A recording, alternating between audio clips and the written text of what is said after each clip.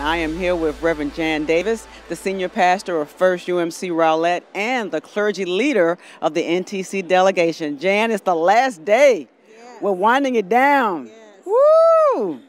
Give me some good news about this general conference.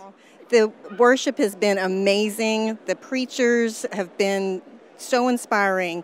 And what a great joy to be with the body of Christ in all its diversity, uh, speaking different languages, hearing different um, people speak, and being exposed to different cultures all around the world. But yet we still have this United Methodist connection.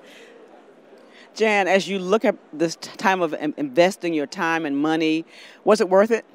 It was worth it to me. I'm, I'm a different person because I've been at this general conference for these 11 days. It has um, touched my heart. There's been tears, there's been joy, there's been laughter, there's been some pain, uh, but I know that I'm stronger and a deeper disciple because of it. And here's the big question, Jan. How does any of this impact the folk back home in the North Texas Annual Conference?